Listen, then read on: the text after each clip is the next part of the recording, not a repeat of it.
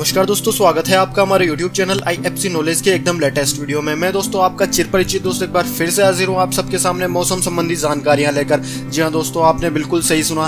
भारत में मानसून का मौसम चल रहा है और कई जगहों पर अच्छी खासी बारिश हो रही है। कई जगहों पर बारिश से लोग बेहद परेशान है और कुछ जगह ऐसी बाकी है अभी भी जहाँ पर लोगों को बारिश की आस है। जैसा कि पश्चिमी राजस्थान हो गया, जहाँ पे अक्सर सूखे की स्थिति रहती है, वहाँ पर इस साल भी बारिश में काफ़ी कमी देखी गई है। वहाँ पर बारिश नहीं हुई है अभी तक तो वहाँ के लोग काफ़ी परेशान है। वहीं दोस्तों, आप यहाँ पर देख सकते हैं दिल्ली, बिहार और यूपी सहित उन्नीस राज्यों में भारी बारिश का आसार। यहाँ पर मौसम विज्ञान विभाग ने अगले दो दिन में अड़तालीस घंटे में बारिश आने, भारी बारिश होने की चेतावनी जारी की है। वहीं दोस्तों, आप देख सकते हैं यहाँ पर बारिश का कहर पूरे देश में जारी, छह राज्यों में पाँच लोगों की मौत। वहीं आप नव भारत टाइम्स की रिपोर्ट देख सकते हैं, पाँच राज्यों में बारिश का कहर, अब तक चार सौ पैंसठ लोगों की मौत। तो दोस्तों, इस वीडियो में हम आपको यही सभी कुछ बताने वाले हैं कि आने वाले समय में कहाँ पर खतरनाक बारिश होने का आसार है। मौसम विज्ञान विभाग ने कहाँ पर अलर्ट जारी किया है बारिश का? तो दोस्तों, बने रहे हमारे वीडियो के साथ, लेकिन दोस्तों, वीडियो आगे बढ़ाने से पहले मैं आपसे एक छोटी सी रिक्वेस्ट करना चाहूँगा। यदि आप पहली बार हमारे YouTube channel I F C knowledge पर विज़िट कर रहे हैं तो नीचे आपको एक लाल बटन दिख रहा होगा, उसे दबाकर सब्सक्राइब कर लीजिए और दोस्तों, उसके बगल में एक छोटा सा बेल आइकन होगा, वो भी दबा लीजिए। उससे क्या होगा दोस्तों,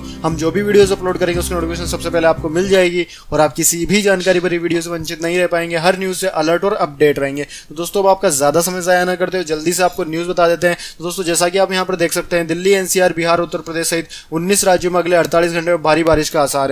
दिल्ली एनसीआर में पिछले तीन दिन से रुक रुक कर बारिश हो रही है। मौसम विज्ञान विभाग का कहना है कि यह स्थिति अगले 48 घंटे तक बनी रहेगी। दिल्ली में यमुना नदी का जल स्तर बढ़ गया है। यमुना नदी अब खतरे के निशान से ऊपर बह रही है। अधिकारियों का कहना है कि यमुना नदी का जलस्तर हरियाणा के हाथी कुंड बाँध से पानी छोड़ने जाने के कारण बढ़ा है। इसके बाद दिल्ली सरकार राष्ट्रीय राजधानी में बाढ़ का अलर्ट जारी कर चुकी है। वहीं बिहार में मौसम विज्ञान विभाग ने अगले दो दिन तक राज्य के अधिकांश हिस्सों में बारिश होने के आसार जताए हैं। दिल्ली के अलावा राजस्थान और मध्य प्रदेश में भी पिछले दो दिन में लगातार बारिश हो रही है। वहीं दोस्तों दक्षिणी पश्चिमी मानसून हरियाणा, गांगे, पश्चिम बंगाल, झारखंड, उत्तर प्रदेश और हिमाचल प्रदेश में अति सक्रिय रहेगा। ओडिशा, पश्चिम राजस्थान, गुजरात, मराठवाड़ा, विदर्भ और आंध्र प्रदेश में मानसून कमज़ोर रहा है। अगले 24 घंटे में गांगे, पश्चिम बंगाल के कहीं कहीं भारी बारिश और कहीं कहीं अतिवृष्टि का अनुमान है। नागालैंड, मणिपुर, मिजोरम, त्रिपुरा, झारखंड, पश्चिम उत्तर प्रदेश, उत्तराखंड, हरियाणा, चंडीगढ़, दिल्ली और हिमाचल प्रदेश में अलग अलग स्थानों पर बहुत तेज बारिश हो सकती है। इसके अलावा अरुणाचल प्रदेश, असम, मेघालय, पश्चिम बंगाल के पर्वतीय क्षेत्र, सिक्किम, बिहार, पूर्वी उत्तर प्रदेश जम्मू कश्मीर पूर्वी राजस्थान, पश्चिम मध्य प्रदेश